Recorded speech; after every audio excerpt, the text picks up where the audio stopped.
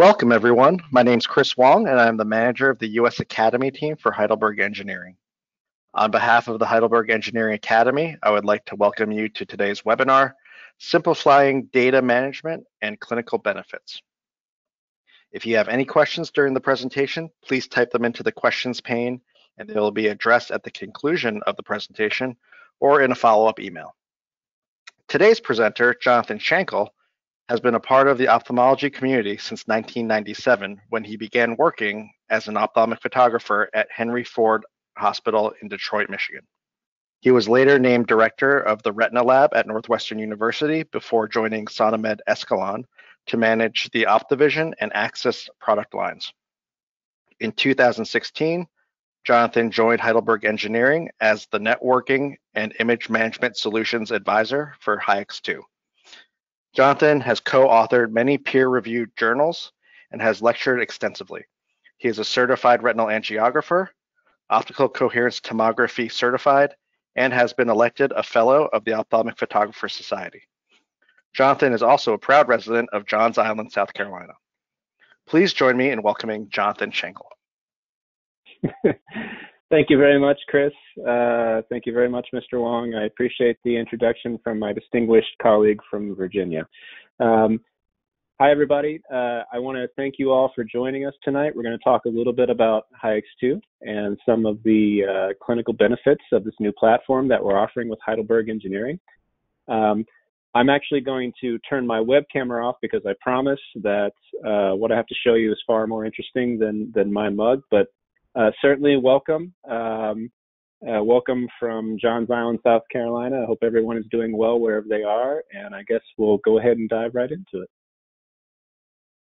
So I will stop sharing that, and I should have control of the screen now, and I do. Okay, great.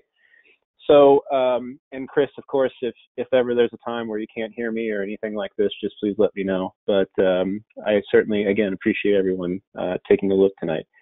So we're going to be going over a couple things. Um, we're going to talk very, uh, just a little bit about a couple things before we go into a live demo. Uh, we're going to go over what the market looks like for an existing ophthalmic image management pack solution. Um, we're going to talk about new requirements or, or, trends that might exist for image management today in the ophthalmic clinical environment. Um, we're going to take a look at what we can do with that data in question. So, how can we benefit um, patients with the clinical information that we acquire from the HEYEX 2 application? Um, we're going to talk a little bit about and spend some time on how we can uh, bring a lot of clinical benefits to your HEYEX 2, uh, excuse me, a lot of clinical benefits to your, your, your work environment via HEYEX 2. And then the most exciting part is the live demonstration of HEYEX 2 and the MMV, which um, is short for the multi-modality viewing application. And this is something that we're all very excited about here at Heidelberg Engineering. This uh, became available to us, uh, I'd say about a year ago now, um, when HEYEX 2 received full blown FDA clearance for use as a standalone PACS. Now, HEYEX 2 has always been FDA certified for use on Spectralis devices, but with this new certification uh, via the FDA, we are able to look at third party imaging. So, all your other imaging modalities, we can look at that within the HEYEX 2 application. We can import those images into the HEYEX 2 database and we can look at them side by side with your Spectralis images. So it's a very helpful, a very effective tool, um, something that we're, we're having a lot of fun with. And, and what's really exciting for me is that I get to show you uh, a newer version of the application. So potentially if some of you have HEYEX 2 today, um, this is going to be an upgrade that you're going to be getting. So we're all quite excited again. Um, and then we'll leave some, you know, five or 10 minutes for questions and answers at the end of the session. So please take note of your questions, send them to Chris, uh, submit them, and I would be uh, honored and more than happy to, to, to answer them as best I can. So let's talk a little bit about what the market looks like and, and kind of why we're looking at a PAC solution going forward. Um, there's certain drivers of growth that will kind of forward the business and certainly forward our um, our reasoning for reaching out and providing these services for image management.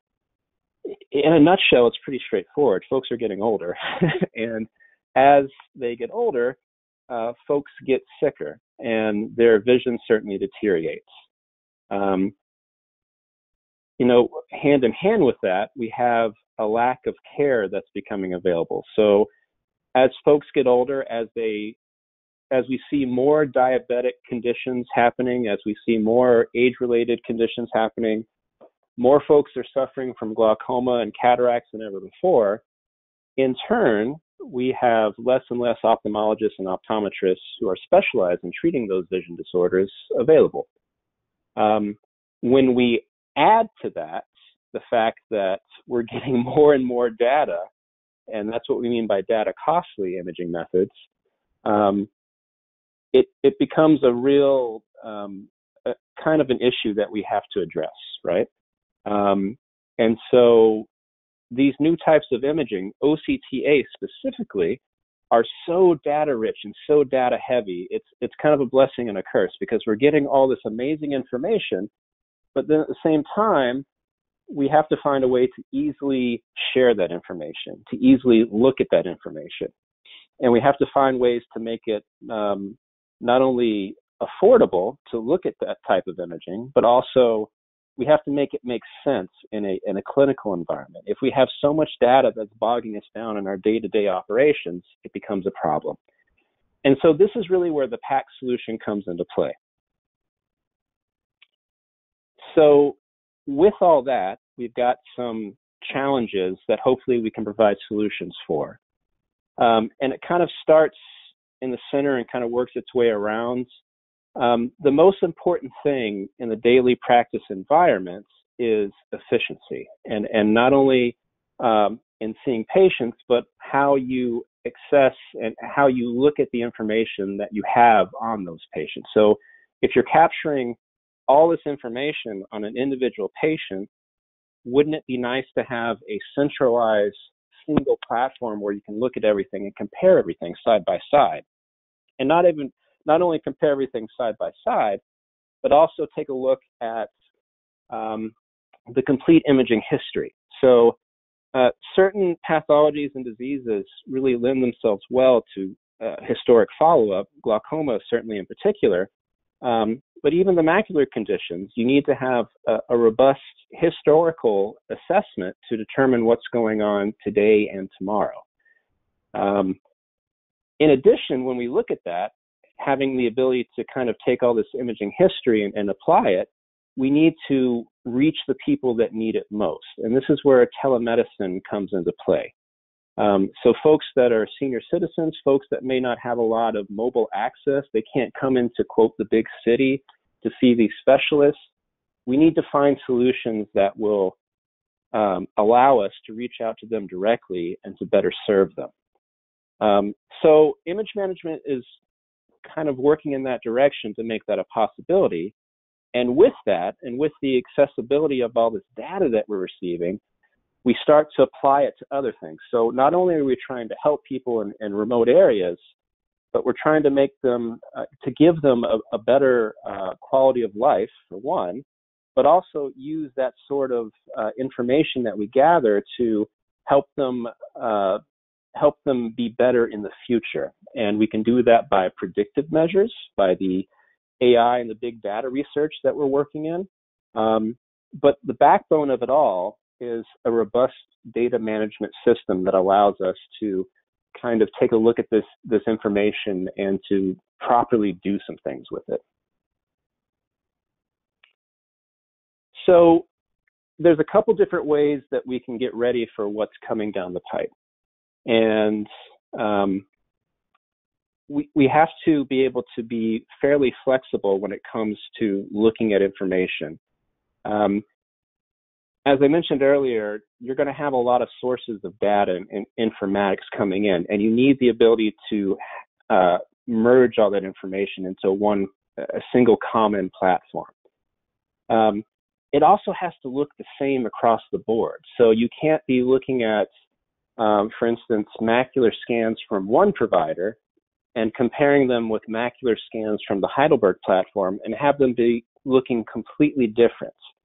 Uh, certain landmarks need to be consistent across the board, so you have to develop a structure that can recognize that and can properly um, can properly view and display those images in a in a correct manner.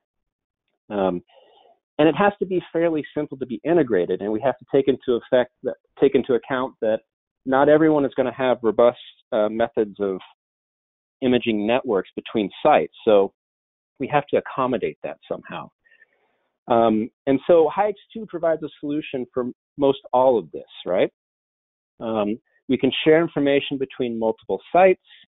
Um, we can really focus on the DICOM imaging standard. Um, you know, our colleagues in Germany are taking the DICOM interfaces and our DICOM conformance very seriously. And it only stands to benefit the user in the long run because this will be very beneficial for archiving and storing of information. If you're ever looking at a VNA, a vendor neutral archive, this is something that will be pretty much a prerequisite, having that DICOM interface, to the, the ability to have a consistent, standardized imaging um, process, a, a, consistent imaging methodology with this DICOM interface. This will be crucial. Um, so having that DICOM support is huge. Having the ability to um, really facilitate and to make clinic move a lot faster by this automation of reports that you're used to seeing every day, if it can save you a, a couple seconds when you're creating these these reports over the course of a day, over the course of a week, it all adds up. Um, and of course, the physician today needs to be able to, to, to look at images that were captured from any of his locations. So if he has seven or eight remote facilities and the patient is seen at one, he needs to be able to follow up with the patient at perhaps a centralized location and compare and contrast all that imaging history across the board. So a robust platform that will deliver all that is definitely, definitely what's uh, needed in the market today. And so how do we get there? How do we how do we look at this sort of thing? Um, the multimodality viewing is certainly an aspect of it, and I'm, again, I'm very excited to show that to you in a bit. Um, the EMR integration um, that we have today and will be expanding upon, this will be huge as well. In addition, a cloud-based exchange that we are currently developing. These are all things that are coming down the pipeline. Of course, the EMR integration and the MMV, we have that now. But the cloud-based exchange platform, this will be coming down the pipe. And it's something that um, I think will be very beneficial because, you know, in very simple terms, provides a safe and secure method of transport between institutions, right? So if you're looking for a, a good way to potentially store information in a cloud environment and, and to actually uh, transmit the information securely and, and, and, and with various levels of encryption, this will be the solution. So a couple different ways that we're actually working towards this um, th- this new future of ophthalmology. And of course, as I mentioned, um, there's different ways that we can work towards this telemedicine approach, right? Uh, we can we can work on different facilities and different centers that allow us to establish remote viewing networks, and we can tie those in all together via something like HEYEX 2. In turn, that leads to increasing screening programs that are available for the community. So if you have an easy way to take color fundus images, OCTs, visual fields, you can detect and determine these uh, conditions and these diseases well in advance of uh, them becoming a true problem for the majority of these patients. So it would be possible for someone like an optometrist or even a primary care physician to initially recognize these concerns and to send them for more intense uh, structured follow-up with a, a, retina specialist, a glaucoma specialist, a ophthalmology specialist, something like this. Um, so these are all ways that we can have HEYEX 2 uh, working towards this sort of telemedicine solution. I won't go much into this, but just know this is sort of some of the um, healthcare quality uh, benchmark associations that are out there and available to ophthalmologists. Uh, various audits of both uh, patients and conditions are, are something that we as a company with Heidelberg Engineering have been doing a lot of work with.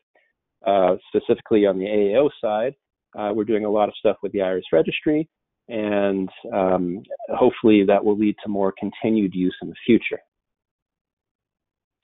In addition, um, we have other forms of, of, competition out there, of course, that are doing these existing um, imaging networks and, and basing a lot of predictive information off of the AI sort of um, research capabilities that their products might offer. And we're doing something very similar here at Heidelberg Engineering. Um, it's not quite ready for prime time yet on our end, but having said that, it's something that we're very excited about and we're working with a lot of groups, both uh, domestically and internationally, to deliver um, some really, really fascinating um, uses of our data for predictive medicine. So, something to be excited about and to look forward to in the future. So, let's spend some time talking about clinical benefits. And I kind of want to keep an eye on the clock because I do have a lot of stuff I want to go over with the actual platform itself. But um, here's a nice mock-up of uh, how it might look in your clinical environment. Um, hands are included as well because you'll be looking at the images. um, but for folks that are familiar with HEYEX1 exclusively, you can see off the off the bat that this is a completely different interface. Um, and I should spend a moment kind of talking about how we got here and, and what it actually does in the background without going into too much detail. Um, the HEYEX1 uh, platform, we'll call it, the one that uh, has been around for a long time with Heidelberg Engineering, um, it has uh, a, a, database structure that is um, uh, a little outdated. Uh, that's putting it politely, and and it's a it's a Microsoft Access platform. Um, so Heidelberg certainly saw the need to change and enhance this database going forward. Uh, so several years ago, uh, they came in to acquire a German-based radiology PACS, full-blown PACS solution, and have since built that off of, since built HEYEX 2 off of that. Um, so we're very fortunate that we have a very robust application um, that we could build this HEYEX 2 uh, off of. So it handles not only image management, uh, but also acquisition. Um, so everything is built into one. So it, it's quite nice because you have basically all your acquisition capabilities um, immediately available to you, as well as image management and review. So very different, but certainly a lot of things that are rolled into the platform that make it immediately recognizable and, and able to be used so let's talk a little bit about how we can really streamline the workflow uh, within the HEYEX 2 environment. So let's start with the automated reports. So um, in the past, if you had a certain type of analysis that you like to do with a certain type of OCT scan, you would have to select it. You'd have to um, kind of, I won't say go out of your way, but something that you had to do. You had to physically create this analysis. Um, if every time you take a certain type of volume analysis, every time you take a certain type of uh, optic nerve head analysis or scan, if every time that you do that, you know you want a certain PDF analysis created, um, we can automate that for you via HEYEX 2. So that's huge. Again, it's all about saving time for the clinician. And the, these seconds, I keep, I keep saying it, but these seconds definitely add up. If you can save 30 seconds, a minute per patient, then you're really adding uh, a lot of time to your day at the end at the end of the day. Um, in addition, I mentioned this before. Uh, we do have centralized database support now um, in in your various locations. So again, if you have uh, remote satellites, you can share a common database between all of your facilities and all your capture stations for your Heidelberg devices. And I should mention for the tech folks out there, the central database that we're looking at, this is a SQL-based application. So uh, we have moved away from that Access platform to a true SQL solution. So life's a whole lot nicer for the IT folks. Uh, I know everybody's happy to hear that. We have HL7 integration for automated modality worklist functionality. And what that means is that we can take an HL7 feed via your EMR, your practice management, and we can provide a direct feed to the spectralis from the physician's order within the EMR. Um, the benefit of that is that we can provide a, um, a seamless demographic transfer of all the work order information. So there's no human error at this point with this HL7 modality work list interface. So gone are the days of a technician or photographer entering in the wrong information or spelling the name wrong or you know typing in the medical record number wrong. Those those are all those are all gone. Uh, this information come over un- unadulterated from directly from the EMR itself, and so there's no room for error. In addition, with the navigator, and I'll show you this later on, um, everything it's completely customizable. So if you like your thumbnails bigger, if you like your patient list on one side versus the other, all customizable. It's all associated with your individual login. So these are all things that certainly help. Um, as we take another look around, uh, we have the audit and login capabilities. This is all associated with a Active Directory or LDAP support that's offered with HEYEX 2, and, and we'll talk and show you a little bit more about this in a little bit. But with this Active Directory sync or this LDAP support, uh, we can set up kind of a single sign-on application. So you don't have to worry about having separate and unique logins for various EMRs or practice management solutions. All this information can be passed on directly to Spectralis itself, and as such, you don't have to remember 17 different passwords. In addition, the IT folks have the ability to create audit records, right? And so what that means is that we can tell who's looked at what, who's um, who's saved what, who's edited, who's done what to an individual patient. Um, if if we have someone who has uh, saved off images to something, that's all traceable, right? And as a result, um, we can we can take a look and know exactly what's been done on any given patient, and that goes hand in hand with um, individual uh, login capabilities as well. So this is all something that um, provides a more secure environment because um, until this point, you didn't really have any sort of individual unique login to HEYEX applications. Anybody could kind of walk up and access the database. So this is very huge. Uh, so talking a little bit about this, uh, the Active Directory components provide the login credentialing information like we talked about. And going forward, these are true DICOM images as opposed to uh, what we might have seen previously.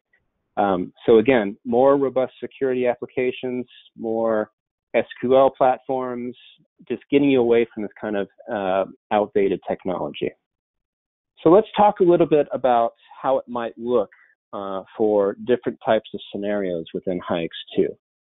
So first off, let's just kind of talk about a single, uh, uh, uh, one or two devices in a single scenario. If there's ever a time where you have two Spectralis devices or um, other third-party devices, um, we can certainly share the information back and forth between those said devices um, but that would facilitate a certain a, a, need for a certain type of server. Um, but the good news is, is that all the images can be stored within that server, so you really leave uh, your your capture stations open and available, and they don't have to store terabyte after terabyte of data sitting on these individual stations, or in just attached thumb dri- uh, hard drives.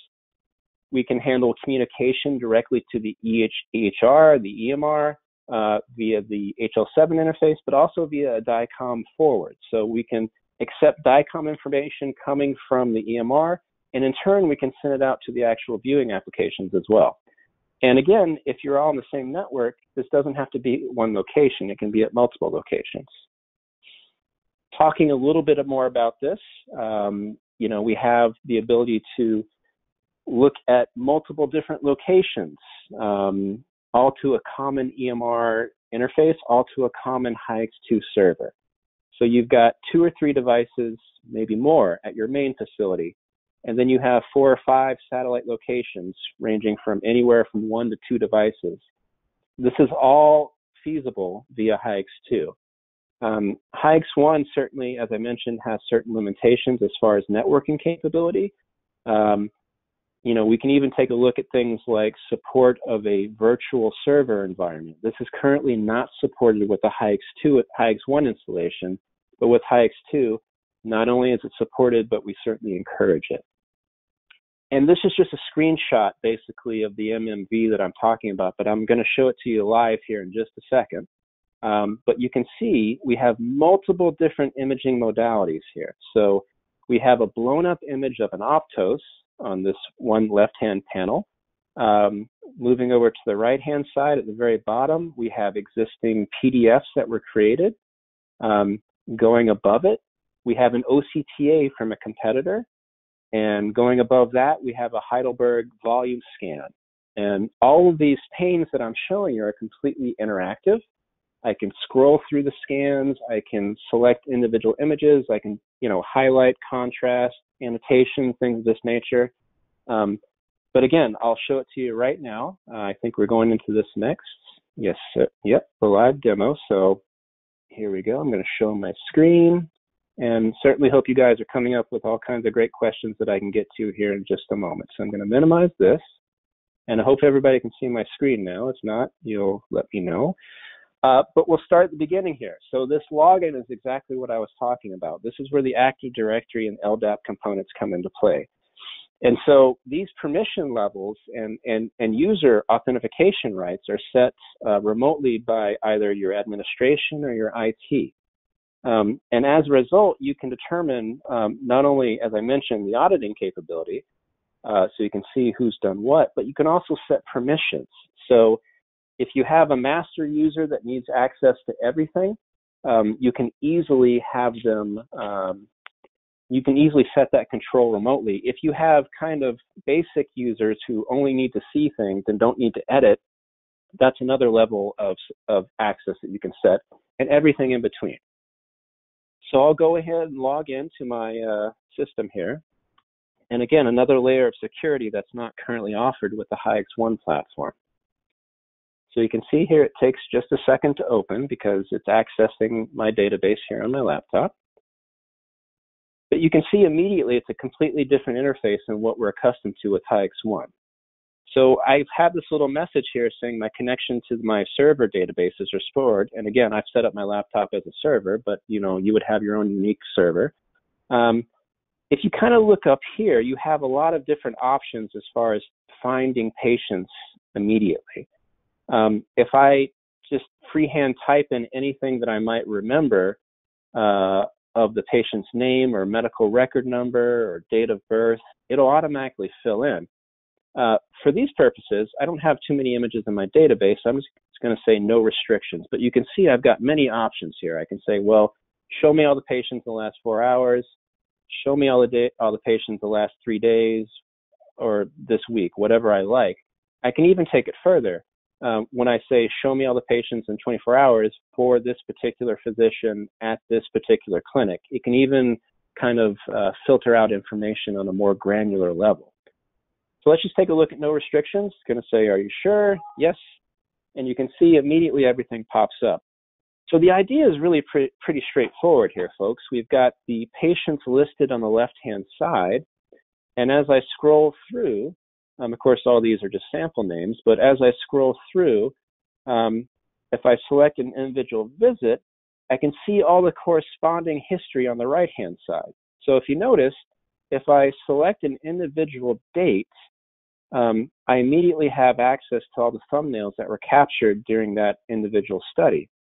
So you can see that on this particular patient, I've got images going from 2012 all the way to 2013, which is great. A couple different ways to look at things, and, and I'll kind of uh, go into more in a second here. Um, but before I do that, I kind of want to continue through um, this kind of tab feature here. So again, I, I, have an easy way to find images if I want to just to quickly look at things. I did mention that HEYEX 2 is not only image management and image review, but it's also acquisition. So I'm just going to go to this examination tab. Now, of course, I don't have a Spectralis hooked up to my laptop here, um, but this is how it would work. Um, I mentioned the modality work list interface and sending that information directly to the Spectralis. So if I had a patient in front of me, I could literally come over to this Start tab, and everything I would have in front of me uh, for the day would be listed. So if Mrs. Jones is sitting in front of me, I could select her name from this file or this listing, hit start examination, and immediately all the demographic information, the, the work orders themselves will all be coming over directly. If I don't have that sort of modality work list interface set up, that's fine. Um, I can just go to new, and this is where I'm asked to enter in information, various demographic information. Once I've done that, I save and start the examination, and it is the exact same um, acquisition protocol that you're accustomed to now with HEYEX 1. So there really is very little um, um, downtime in terms of getting up to speed on this new application, at least as far as acquisition is concerned. Uh, with image review, you have a lot of the same familiar options that you've always had, but you also have some new options as well. And of course, we'll go over all that. Um, so a couple different ways to capture images. Um, if I need to continue an examination, I have that feature. I haven't started one in 24 hours, so the examination is too old.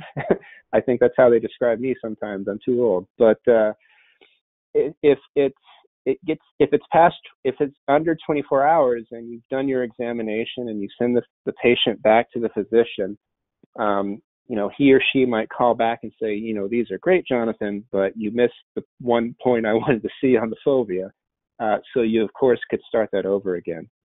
So again, we'll go into review here in just a second. I want to continue down this little tabbed feature here. Um, you do have the ability to physically, manually, um, and automatically import all types of information into the HEYEX 2 application. The interesting thing is, I mentioned everything um, that this is DICOM based, and HEYEX 2 as an application certainly is anything that comes in or out of HEYEX 2 becomes a true DICOM object, not just a, you know, a wrap of sorts. Um, we don't wrap up an image and, and slap a DICOM header on it and call it a DICOM object. It's, it's a true DICOM object. And if you've ever spent any time looking at those files and taking them apart, um, first of all, my condolences because it's the sort of thing that we have to do. but um, if if you've ever spent some time looking at these DICOM files, you know that there's a lot of embedded metadata associated with them, and um, to do it properly does take some work and some commitment. The good news is that my colleagues in Germany have spent a lot of time conforming to the T to these DICOM conformance standards. So I feel very confident in saying that we have one of, if not the most adept DICOM platform in, in, in the world, certainly in the ophthalmic image management world, as far as uh, transmission of data and adherence to the DICOM conformance standard. So, having said that, if I import a PDF, if a patient shows up with um, just a bunch of random JPEGs saying, These are my historic images, can you accept them? You can literally import those images, assign them to a certain patient, or assign them to images that you just capture as far as the same patient is concerned. And the same thing is true for any type of written document. If the physician has sent you a hand scanned note, a PDF, a Word document, these can all be entered in. Of course, the same thing is true if they show up out of the blue with the good old HEYEX 1 E2E format. We can import all that information directly into HEYEX 2 as well. Um, so lots of different ways that we can look at images, import images, and of course, a whole nother ball game if we're importing images directly via the MMV, and we'll we'll take a look at that in a second. Just kind of moving on here down down the down the road here, I, I've mentioned that you can literally kind of customize this view into anything you like. If if you want more or less of the default uh, thumbnail views, if you want more demographic information, if you want more of a series outlook where I say, okay, I'm just interested in knowing what was done, the various OCT art volume scans, the B scans, or even if you want uh, just to look at reports instead of the actual images themselves, it's all possible. And the best part is, as I create or you know um, adjust these templates, they stay the way that I've done them. So when I log in as my individual user, um, it will look in the same manner as the last way I left it, the way I set it up. So if you really have a preference, you can definitely set these things up to be a very customized view, specific and unique just to you. Before I start getting into how we look at images, we've gone over acquisition, we've gone over importing information in. Let's talk a little bit uh, about how we uh, might export images. So if I come over to this side, I've got several different types of uh, tabs available to me. Um, and I do want to spend a little bit of time talking about this very quickly. Um, so we have the ability to, um, of course, export any type of images that we want. It can be as simple as right clicking on something uh, and then selecting what type of interface I want to do. If I want to do an E2E, a JPEG, if I want to export via XML for uh, other image management solutions or for uh, reading center applications, or if I want to export uh, and you have the ability to, to look at the raw files for, for data research. These are all possibles. This is all, all certainly possible within right clicking the individual thumbnails. But we also have ways to export them individually, uh, in bulk, uh, and, and multiple patients at a time via DICOM. So let's say I want to see these two sets of images here, and I want to import, export them as a DICOM interface. So I would simply click and drag to the export to drive. You can see it's creating the DICOM file. That's done now. Um, and then once I do that, it's simply a matter of finding the place where I want to send it, right? And so I could say, yep, let's save it to my desktop. Uh, we're going to go to this new folder that I created, um, and I'm going to select those images. You can see that the DICOM files are being created, and you're going to get a message saying that you're all complete and done. So now, if I go back, I have these saved here, and this is the DICOM interface, and this is how it looks when you export DICOM images. If I dive in a little bit, you can see if I go down the list here, that that all the DICOM files are actually listed out, and I can actually access them and and use those for any type of export that I want. But um, I know a lot of folks are involved in uh, reading center studies, so we also do have the ability to do that same sort of export function via the E2E. So you don't have to worry about that. Um, if you're involved in these reading center studies, you can still be involved in them and going forward, nothing will change. You can still export images out in the same way that you're always accustomed to. Um, and of course, if I want to save it onto a CD, burn a DVD, something like this, these are all options too.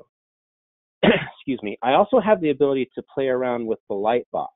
And what that means is that I can actually create files if I simply by, again, clicking and dragging, um, I can create a folder saying, okay, well, I want to look at uh, these various examinations or have them separated for me um, at any given time here, like so. So now when I come back in, I open up this patient, I've got these three highlighted um, uh, thumbnails in imaging studies that I can look at very, very quickly and very easily. So it's nice. A lot of folks uh, use the Lightbox functionality in HEYEX 1 and we certainly move that over to HEYEX 2. Um, moving down the line, we have other options as far as uh, kind of um, contact association. This is actually a very cool feature. Um, we can create what we call DICOM contacts, and this is just a very simple and easy way to share information between HEYEX 2 users. It's kind of like a Dropbox application for HEYEX 2 individuals uh, or users of HEYEX 2. So simply by creating or, or, entering in very basic information, IP addresses, AE titles, things of this nature, um, we can create what we call a DICOM contact. And then just by clicking and dragging um, individual or multiple images at any given time, we can share information via a DICOM forward securely and safely between those individuals. So the next time they open up HEYEX 2, they'll have those images ready for them to review. It's a really cool feature. Um, in addition, we can also create groups within the HEYEX 2 application. So if I know that I have a certain case, a certain amount of cases that I'm trying to set aside for grand rounds, or a very interesting case, or cases that involve um, white dot syndromes, uh, going back to my clinic days, this sort of thing that we that we did. Um, these are all things that I can create unique groups for, um, so not only can I separate and create unique groups uh, that that can identify certain pathologies or interesting cases, I can also assign who gets to see those. So I can create the users within those groups themselves. Um, so a good way to share information amongst a certain amount group of people Uh, if you want only your retina specialist to see certain images, then you can create groups that accommodate that. Um, so now, certainly last but not least, um, let's take a look at how we actually look at images. And um, this is the most exciting thing for me. So starting with a very rudimentary um, double click sort of thing, uh, I have the ability to, you guessed it, double click on a thumbnail and a very familiar view pops up. Now, this is a very familiar interface to folks that are using HEYEX1. Um, all the sort of applications and functionalities that you're accustomed to today, this is embedded within HEYEX2. So acquisition and immediate review, it's all very consistent to what you know. So you can get up and running very quickly. All the same functionality is there. If I want to compare any two frames or any two studies at any given time, I have the, of course, the ability to do that. Um, if I want to look at a 3D view, um, we'll let this think about it for a second. There we go. This is always uh, available to you and, and, and, and quite uh, impressive.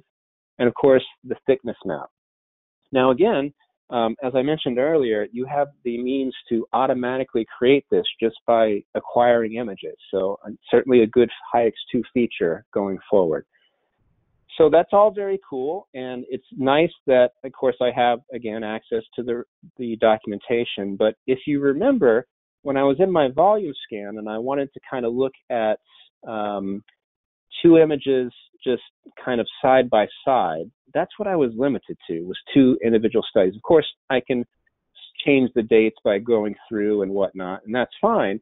But let's say I wanted to look at more if I do have certainly more visits available.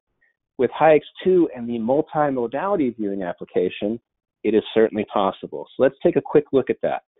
So I'm just going to click and drag over to the layout tabs and pick a uh, corresponding view that I might like. So this is a very good one to look at um, individual line scans and volume scan analysis. So as you can see, I've got the one that I selected right here. Now, what happens when I right click and hit control? I have immediate access to thumbnails of everything else that I've ever had done right? So I can say, well, this is fantastic. So I've got the visit from 2012. I want to take a look at a corresponding one from, mm, let's see, 2013. So I literally will scroll down. I'll pick the one that I want. Let's say this one might do. Um, yep, there we go. And now I want to do the same thing for a visit, a different visit in 2013. So again, let's just come right down here uh, pick the one I want again. And so you can see now that I've got three separate visits. And what I want to do is kind of make sure they're all the same, same location, if you will. So now, when I come here and I select all three of them, as I have right here, I can move them at the same exact rate and speed, right? Everybody see that? So you can see truly the progression with this full thickness macular hole over time. Um, so we have 2012, 2013, and another one in 2013. The exact same scans location thanks to our eye tracking capability. Um, so that's great. That's very nice. But what happens if I wanted to see that potentially with a different type of device? Um, makes sense, right? So, you know, we have a lot of people who potentially have studies done on a uh, Zeiss or a Canon or a Topcon, an OCT, if you will. Um, and you might want to look at things side by side with your spectralis images. Certainly understandable. The multimodality viewing application allows for that. So let's just take a quick look here and see how we would best look at that. So what I'm going to do is to select my volume scan uh, for my spectralis, right? So here we are. And now I'm going to right click again and see the exact imaging history that I have available for me. I'll scroll down and take a look, and these are some Zeiss images. So again, if I click and drag this right here, I now have the ability to take a look and to perfectly synchronize the same patients just like so. So two different modalities, two different imaging types, same patients. um, looking at things side by side. So that's a Heidelberg and a Zeiss. Let's say I wanted to see, you know, I've done Optos images, I've done um, an OCTA, I've done Zeiss images, um, all on myself, it looks like, and Heidelberg Spectralis images, um, a, a color fundus photo, and an OCTA from another manufacturer. I'd like to really be able to take a look at all those. It's certainly possible with, within the HEYEX2 application. So again, let's just come right over here. I'm going to select a different format now because I need more and different options. So starting with this Optos image, you can see I can scroll through the whole study just like I'm sitting at the machine. Um, I have enhancement tools available. I have magnification tools available. Um, and once I set my magnification, I can scroll through just like I'm sitting there. So that's great. That shows me a nice image of, of, of the left eye. And what I want to do now is see what else I have available to take a look at side by side. So I'll come over here. Okay, I want to see the OCT. Um, I want to see the OCTA of this one individual patient, and I also want to see a different type of color fundus photo. Okay, great. So again, four different imaging modalities all being viewed at the same place. So this is pretty exciting for me um, because we haven't had this sort of functionality available with Heidelberg Engineering in the past. So again, as I mentioned before, all these are interactive and I can scroll through just like I'm sitting at the machine on each and every one of them if they have that capability. This is a static image, so it's not going to have that. But I can also put up reports. I can do all sorts of things. I have various measurement tools available. I can save various things off as JPEGs or TIFFs or movie files. Just a really good way to look at images side by side. And again, it really doesn't matter what type of imaging device you have. So I can do things like I'm going to look at these Zeiss 450 images, these these static color photos and this fluorescein angiogram. So I'm just going to pick four random images in the in the study, and then say I'd like to look at all four of those together, just like that. Of course, if I pick more, I'll see more. But here we have the individual frames that I selected. If I want to see any one of them large, I just simply select it, just like that. If I want to kind of select all of them and get rid of these lines. I can do that as well. Um, there's really no limit to what I can do with these images. And of course, if I want to look at them potentially in a different layout, I just simply select it from the dropdown, just like so. And I can save these individual frames. I can save this four up, whatever I'd like to do. I can send that to the EMR. It's certainly all possible. So one thing I wanted to show you with the multimodality viewing application, when I do do that right click, I've got a couple different options. I can make it so it's just kind of listed on this side, on the left-hand side, scroll through here. I can change the thumbnail size if I want to make it more easily manageable. But the really cool thing, if I come over here to something that has multiple examine or multiple images, if I select that drop down, it shows me all the individual scans that I have there. So I can select any of those from the study itself, the progression study. So I thought that was pretty cool. I definitely wanted to show that to you. But let's take a look at a couple other devices, some common devices. Let's take a look at, I mean, we looked at the Zeiss, we looked at um, what does an IOL master look like? We can do things like this. I've got the printouts, I've got the, um, the kind of infrared image here for the iris itself. And if I come over here, a very easy way to look at it is just select those images and pull them right over. And now I have access to all the imaging data that I selected embedded with the iris image as well. So very quick, very easy ways to look at things. Um, of course, we're not limited to uh, the way that uh, we look at just the uh, Heidelberg device. We can look at, for instance, we've, we've looked at Zeiss images. Here's some TopCon files. And again, I'm scrolling through just like I'm sitting at the machine. Embedded uh, is the color fundus image that was captured with this TopCon OCT. But these are all things that I can look at side by side with the with the Heidelberg images.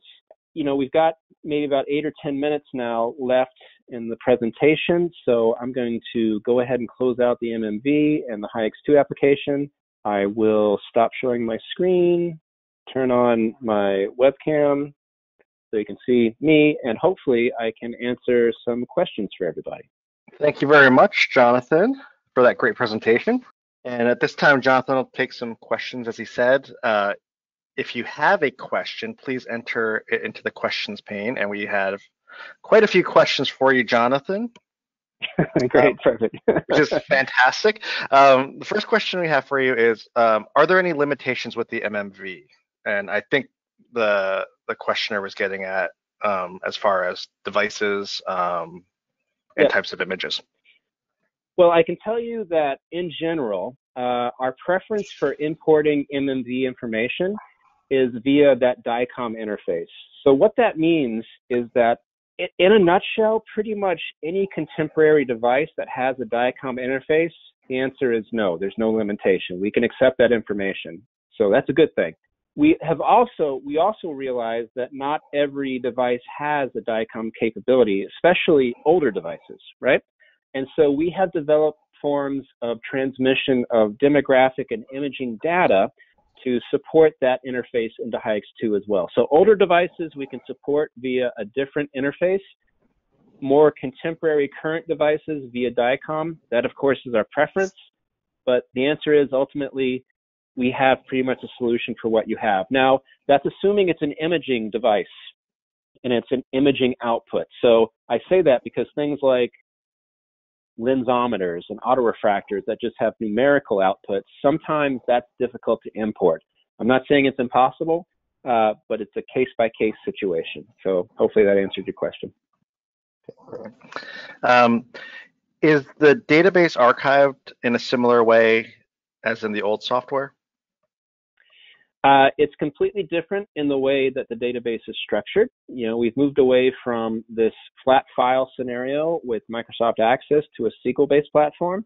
With that comes more flexibility, um, including automated archiving and archiving to NAS solutions, so uh, other types of storage not immediately embedded within the server environment. So um, different pretty much in every way, and certainly I think a lot easier for you as an individual user. Great. Um, so I have a couple of questions that kind of link together here. Um, so when you're importing in HEYEX files, so the, the E2E files, um, are you yep. losing anything from going HEYEX1 importing into HEYEX2? You are not. Uh, in fact, you're gaining everything. um, so the E2E is very robust in the fact that it holds a lot of information. But man, I'm telling you, the DICOM files and the DICOM headers st- store so much information. So really, um, you're you're gaining access to information and metadata that was really embedded deep in that E2E file. Um, the good thing about HEYEX2 is that when we set up HEYEX2 at your institution, the data migration is part of the process, right? Um, so changing over the E2E to the DICOM format, that's all part of your HEYEX2 installation. We never affect the initial primary source of data. We make a copy of it, and then we migrate and change that information over. You potentially have your existing historic E2E at all times. Once we change it over, you won't need it anymore, but it's completely different at that point. So no, you don't lose any information. You only uh, gain functionality. Great. Is is there a limit to the database size in HEYEX2? As big as you want to build that server, there is no limit. No, sir. uh, I mean, but we have facilities. For instance, we have clients that have easily over 50 terabytes of data stored in their HEYEX2 application, a single server. So really, the sky's the limit. We can build it out to any size. Storage is relatively inexpensive, so um, take all the pictures you want. Great. All right, so we have time for one more question, Jonathan. Um, can images from a third-party device be saved directly into HEYEX2? Yep, that's how it works. Um, of course, each device is different, but for instance, we have it set up on most contemporary devices where um, you basically finish the examination or save the examination within that third-party device, and it goes over automatically into HEYEX2. So there's no, you know, putting it into a folder or creating a folder, or putting it into a file or something like this. It happens automatically for you. Well, thank you so much, Jonathan. That was a fantastic presentation, and thanks to everybody in the audience for attending. Uh, We hope you found today's webinar educational and thought-provoking. Um, if you'd like to learn more about future webinars or events, please like us on Instagram or Facebook. Also, be sure to sign up for the Business Lounge at www.heidelbergengineering.com. By by re- registering on the uh, for the Business Lounge, you'll get notifications um, and information about upcoming webinars. Um, you'll also get access to free educational information and guides, videos, and e-learning modules. Uh, thank you again, and we'll see you on our next webinar. Thanks, everybody. My information's there if you want to reach out to me directly, and I appreciate you listening.